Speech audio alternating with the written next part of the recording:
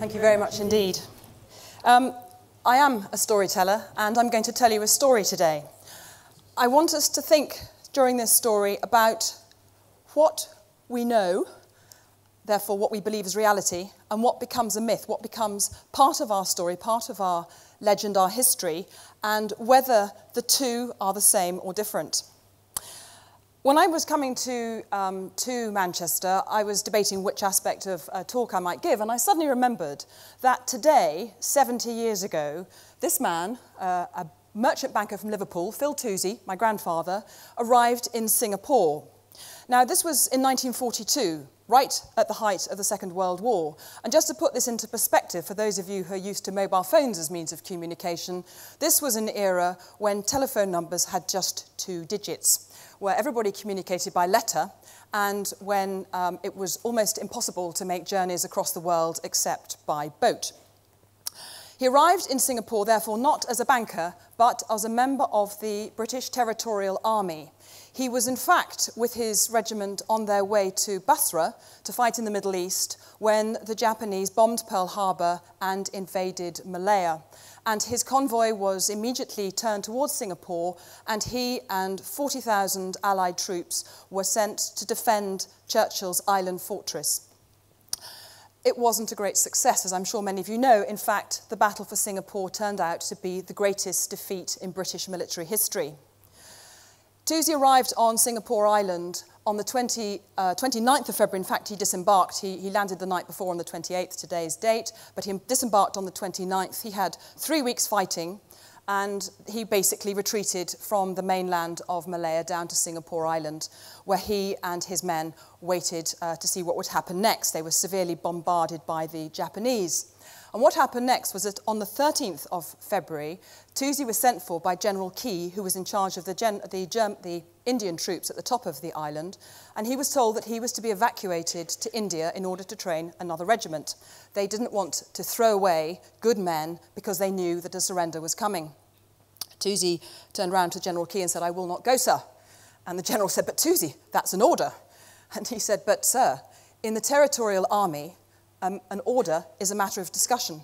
I will not leave my men. And with that decision, he changed the course of his life forever because he was one of the leading lights in the British Territorial Army. But he made his decision that it was more important for the commanding officer to stay with his men than to leave.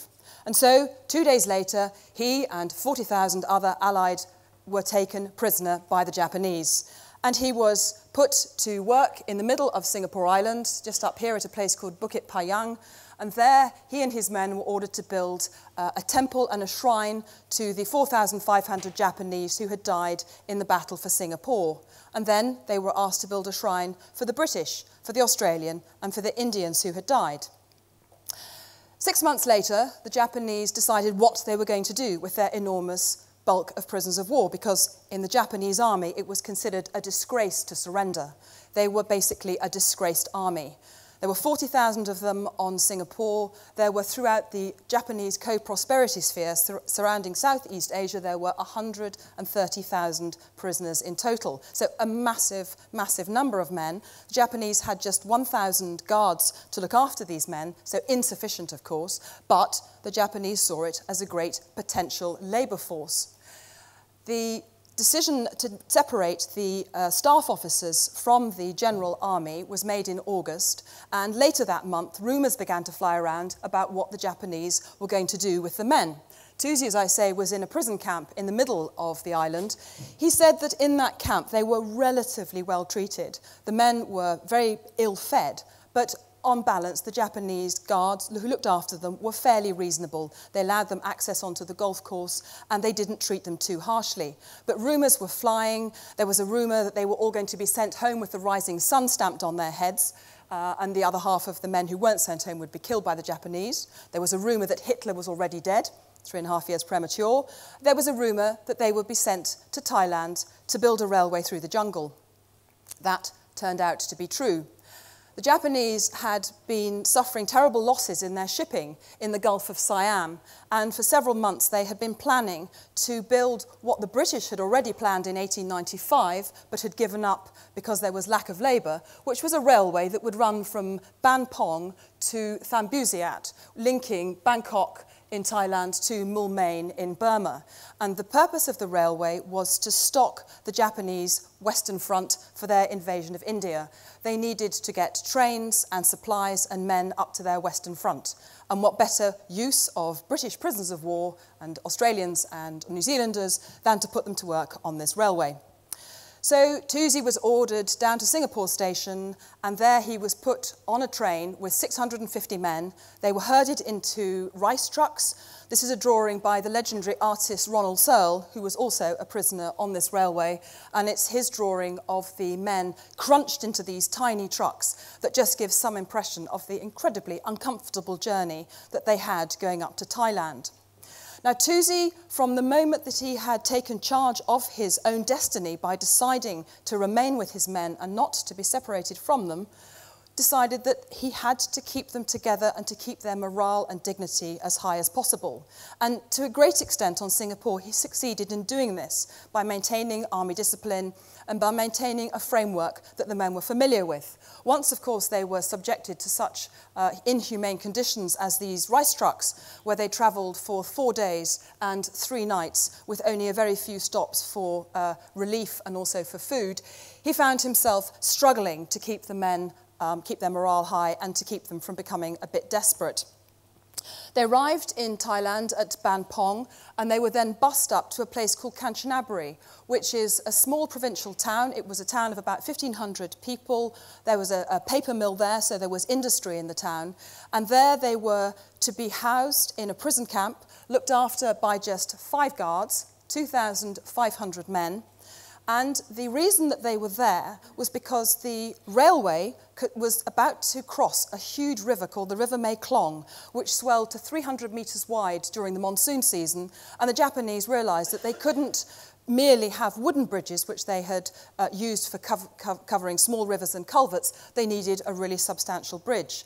But the key thing was that there were insufficient guards to manage the camp, so that the British officers were put in charge of the day-to-day -day running of the camp, and the guards simply shot anybody who tried to escape. Now, this is a drawing made by one of Toosey's subalterns uh, after the war, showing the site of the camp, which is right down in the bottom right-hand corner. It wasn't barbed wire, as you would see in films about uh, German prison of war camps. It was simply a wattle fence, because, as the prisoners quite rightly pointed out, if they did try to escape, where would they go to? With their white skins, they were immediately recognizable in Thailand, and the only way of escape was through the jungle. And the jungle was, as we've heard today, one of the most inhospitable places, especially to men who were undernourished, uh, many of whom were eventually starving and ill. But the location of the camp is interesting because you see the great river Mae Klong and the two bridges, a little wooden service bridge at the bottom, which they built within eight weeks, and then the great steel and concrete bridge at Kanchanaburi, or Tamarkan as the camp was called, and that took a bit longer to build. It was started in October 42 and finished in March 1943. So there they were uh, in this camp. The jungle is just to the left. It was about 300 yards from the camp. And this was um, a farm in the centre where they could go and bit, do a bit of dealing and haggling with the Thais. Now, as I said, the camp was basically run on British Army lines, and when Toosey arrived as the senior British officer, he was put in charge of the camp. He asked permission from the Japanese, as he always made sure he did whenever he addressed the prisoners. He asked permission to address the prisoners and to give them some rules that he was going to institute in running the camp of 2,500 men. The first thing the men had to do was to build their own huts. And it was very important, he felt, that the men should all be involved in doing this because they would then take pride in looking after the huts. These were huts built out of bamboo and palm atap. Not a single nail was used during the construction. And these huts were 100 metres long, and each man had a bed space on a split bamboo platform of 18 inches or just under uh, a metre and a half by two metres or six foot long. Not a very great space. Every time they turned over, they knocked into somebody else. The most important factor of prisoner of war life was food. And when Toosey stood up in front of the men, he turned round to them and he said, I intend to keep the discipline in this camp much as I have done in Singapore, but we will abolish the officers' mess and the officers' sleeping headquarters. Now, it's probably incomprehensible to us today what a desperately shocking thing that was for him to do. But he knew that each of the men, regardless of whether they were working, which the men were, or were not working, which the officers were not forced to do, they were all going to receive 650 calories a day, which comprised rice, few vegetables, little bit of meat occasionally and he was insistent that his officers should not be seen to be favoured over and above the men. And this was something that very much endeared the men to him because he they realised that he was on their side. So this is a photograph of one of the um, kitchen scenes. He supervised the kitchens every night to make sure that fair dues, as far as possible, were being had. The second thing he insisted on was hygiene. No beards, they harboured lice, and they caused low morale. Every man, after working, however exhausted he was, after doing labour work on the railway, had to go down to the river to swim, to wash his clothes. And then he began on the Japanese, and he said to the men, If you will be loyal to me, if you will trust me, I will make sure that I intervene on your behalf every time there is an unnecessary beating, every time there is violence towards you. And in return, I will also try and get extra food for you. And he lobbied the Japanese hard. He said to them that if they gave the men slightly better rations, their health would improve, morale would improve, there would be more men to go to work. Now, that has been construed as some as collaborating with the Japanese, but Toosey's aim was never to collaborate. It was simply to make sure that his single duty, which he felt he had to the men, was to get as many of them back home as possible, as safely as he possibly could. So the wooden bridge was finished within um, six or eight weeks. As I said, this is a photograph um, of the bridge under construction. And as you can see, it's the Japanese engineers who are overseeing the construction of the bridge, as they did on the metal bridge. Uh, as you can see, there's an Aussie here in a slouch hat, and it's the Japanese engineers who are overseeing the lowering of the comb trusses onto the bridge. And it's very important, this, because in um, other stories, one's heard that the Japanese were considered inferior engineers and the British had advised on how the bridges should be built. Absolutely not the case. The British and Australian prisoners of war and the Dutch were simply used as slaves by the Japanese in order to get their railway built as soon as possible. Now, Toosey's methods were very simple. He had, as I said, just the one aim. He wanted to get as many of his men home safely as possible after the war. He had already estimated in February 1942 it would take roughly three and a half years for the Allies to defeat the Japanese. He was absolutely accurate. And so his methods of incrementally taking responsibility away from the Japanese, ensuring that his men believed in his vision, which was to get them home safely, helped him to get the trust of the men in the prisoner of war camps. And his methods were so successful that they were copied up, right up the railway, right into the jungle. And in fact, um, after the war, this cartoon was sent to him by one of the Dutch prisoners who was in his camp. And he wrote to Toosey he said, What you really did, sir, was to understand the men. And I think that was the key message he wanted to get over was that he knew their plight. He understood the position that they were in. Now, 20, nearly 20 years later, in fact, not even 20, 14 years later, this film came out, Bridge on the River Kwai, probably one of the most famous war films of all time. It told the story of the construction of a bridge over uh, a river. And very quickly, the prisoners of war who went to watch this film decided that the film was probably based on the story of Toosey and the construction of the bridge over the River Mae Klong, or the River Kwai, which it, of course, has now been renamed.